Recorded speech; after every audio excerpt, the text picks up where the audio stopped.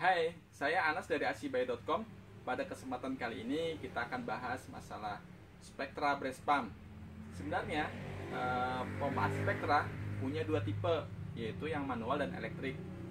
Sayang sekali pada video ini dibuat, eh, Spectra hanya memiliki eh, brace pump elektrik. Tapi juga dia punya 5 tipe brace pump elektrik. Mungkin karena saking banyaknya tipe ini kadang-kadang bikin ibu-ibu jadi bingung mana sih pompa AC yang paling baik? Uh, mari kita lihat video kali ini. Semoga bunda bisa menentukan pompa mana yang paling cocok dengan dia.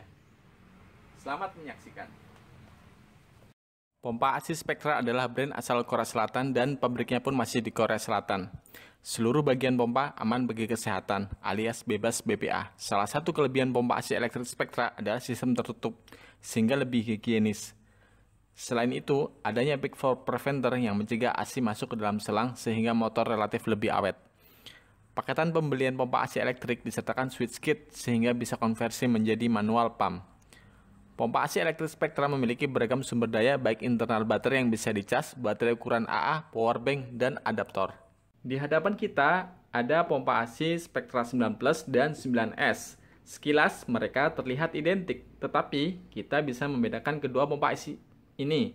Yang pertama pada bagian depan untuk 9 Plus tombol power berwarna biru. Adapun 9S berwarna pink. Kemudian pada bagian atas pompa untuk 9S terdapat port mini USB yang digunakan ketika kita menggunakan power bank. Adapun voltase masukan 9S 5 volt, 9 plus 12 volt. Kemudian pada bagian belakang pompa, untuk 9S terdapat tempat baterai yang bisa kita pasang baterai AA sebanyak 4 buah. Adapun 9 plus baterai sudah di dalam pompa AC ini. Kekuatan hisap maksimal dari Spectra 9 Plus berkisar 320 mmHg Adapun kekuatan pompa AC Spectra 9S maksimal berkisar 290 mmHg. Spectra M1 dan Spectra M2 bentuknya mirip Spectra M1 warna biru, Spectra M2 warna pink. Kemudian perbedaan selanjutnya untuk Spectra M2 terdapat tempat baterai untuk 4 buah baterai ukuran AA Adapun Spectra M1, baterai sudah terdapat pada pompa AC. Spectra M1 memiliki kekuatan hisap maksimal berkisar 310 mmHg. Spectra M2 memiliki kekuatan hisap maksimal berkisar 300 mmHg. Yang terakhir, kita punya Spectra S1 dan Spectra S2. Ini adalah pompa AC Spectra yang memiliki ukuran paling besar di antara yang lain. Bentuknya mirip. Perbedaannya Spectra S1 berwarna biru, Spectra S2 berwarna pink. Pompa AC Spectra S1 memiliki kekuatan hisap maksimal berkisar 300 mmHg. Pompa AC Spectra S2 memiliki kekuatan hisap maksimal berkisar 310 mmHg. Sekarang kita tampilkan tiga pompa ASI agar bisa dibandingkan ukuran atau form faktor dari pompa ASI yang telah kita jelaskan tadi.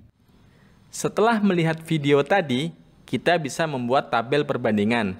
Pertama, dari parameter kekuatan hisap atau power suction. Paling besar 9 plus dan paling kecil 9S. Parameter kedua, dimensi. M1 dan M2 memiliki ukuran paling kecil.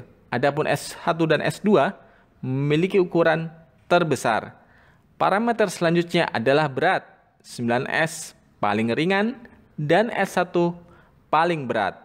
Selanjutnya, pompa AC yang telah terdapat internal baterai adalah M1, 9 plus, dan S1. Adapun yang bisa menggunakan baterai AA adalah M2 dan 9S. Sedangkan pompa AC yang bisa menggunakan power bank hanya tipe 9S saja. LCD display digunakan agar kita bisa melihat timer atau berapa lama kita telah memompa. Ini dimiliki oleh 9S, 9 Plus, S1, dan S2. Terakhir, input voltage DC. M1, 9 plus, S1 dan S2 menggunakan 12 volt. Sedangkan M1 dan 9S menggunakan 5 volt. Selain beberapa parameter di atas, saya masih memiliki beberapa tambahan catatan perbandingan pompa ASI seperti yang pertama, pompa ASI Spectra tipe S1 dan S2 memiliki night light atau lampu malam sehingga Bunda bisa memompa dalam kegelapan kamar. Kedua, tipe S1 dan S2 menggunakan mesin motor yang relatif lebih awet. Walaupun demikian, jangan takut karena tipe lainnya juga kuat sampai 2 tahun bahkan lebih loh.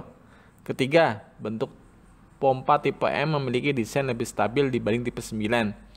Maksudnya di ya, di sini kita lihat tipe 9 memiliki desain memanjang ke atas.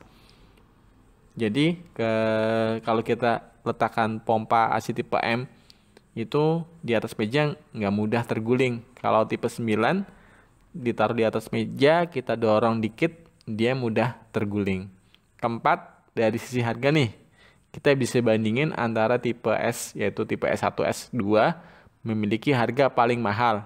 Adapun tipe 9 dan tipe M sebenarnya memiliki range harga yang mirip loh hanya saja tipe 9 terlihat lebih mahal karena memang pempaketan pembedanya sudah dapat dua corong sehingga terlihat lebih mahal. And then after we talk about pump, ada juga yang penting yaitu ukuran corong.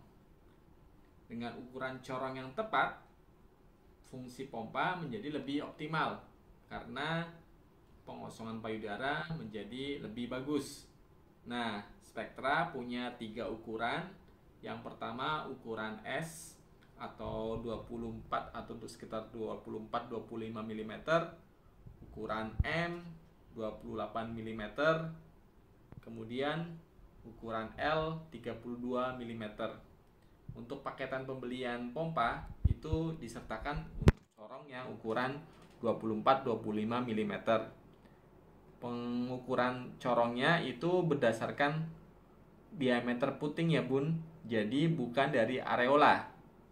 Kemudian pelengkap tambahan lainnya yaitu bantalan corong silikon agar memompa menjadi lebih e, nyaman yang panjang untuk ukuran 25 mm dan yang pendek untuk ukuran 28 mm. Makasih ya sudah mantengin video kami sampai akhir. Maaf jika ada yang salah jika ada pertanyaan atau komentar, silakan tulis aja di bawah. Dan jangan lupa like dan subscribe ya.